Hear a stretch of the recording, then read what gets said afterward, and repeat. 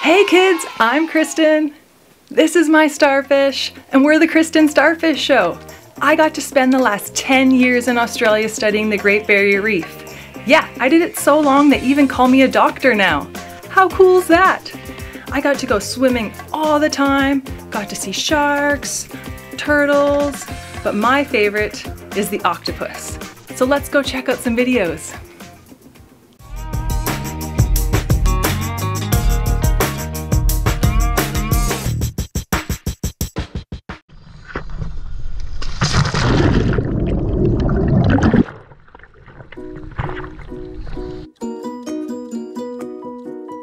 Hey, meet Ella the octopus.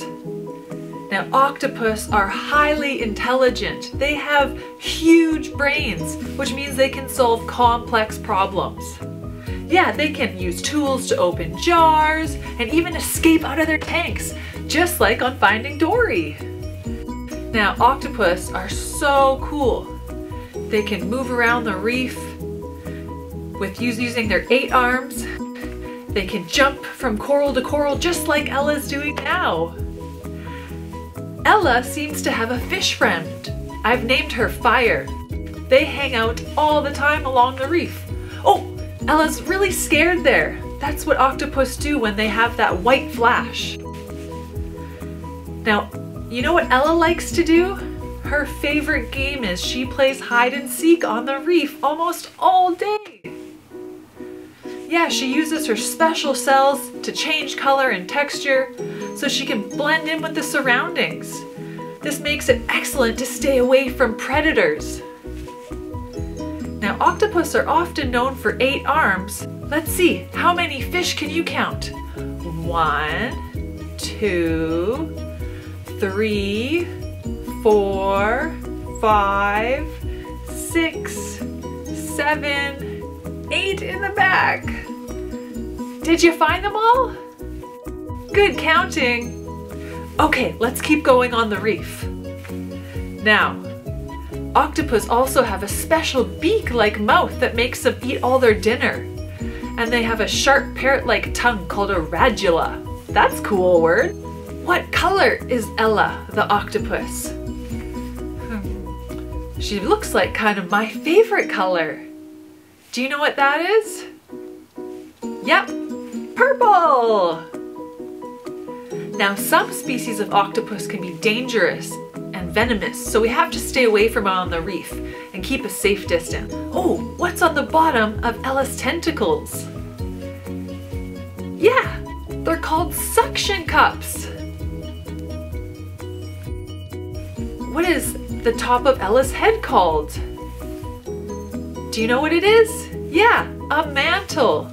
And she has a siphon that comes out that can help push water through it if she needs to get away really fast by jet propulsion. I think one of the coolest things about Ella is that if she loses an arm, yeah, she can actually regenerate it. How cool is that? There's just some really cool things in nature, and I think octopus mark them all.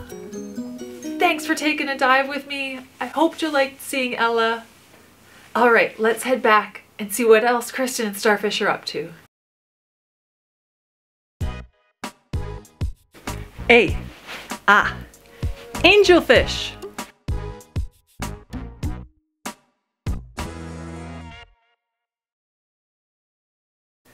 How cool was that, Starfish? I love looking at octopus. You just never know what they're gonna do. It's so cool how they can change different shapes as they move around the reef and they have special cells that can actually change form to make it look like they have different textures. How cool is that? Okay, what else should we do for fun today? Hmm, should we do our buoyancy check?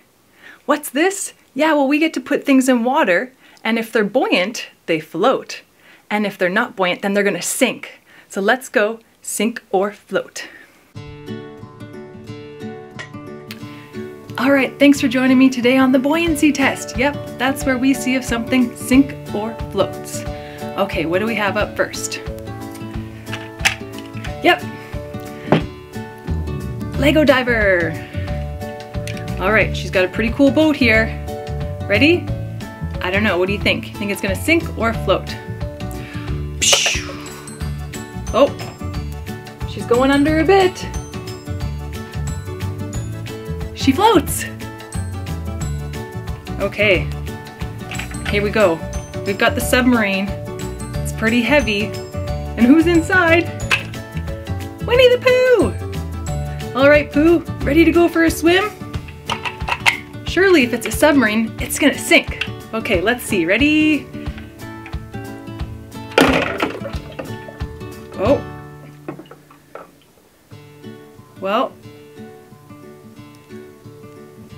Upside down, still floating.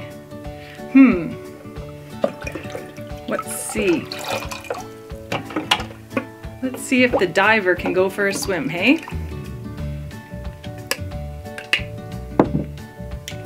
All right, ready? Let's take a dive. Shh. No, still floats. All right, well today on Sink or Float, everything floats. Well, thanks for learning with me today on the Kristen Starfish Show. I sure hope you had fun. If you want to see more videos like this, please like and subscribe. And thank you for letting me in your home. Now remember, in a world of angry sharks, let's all be a starfish. Take care.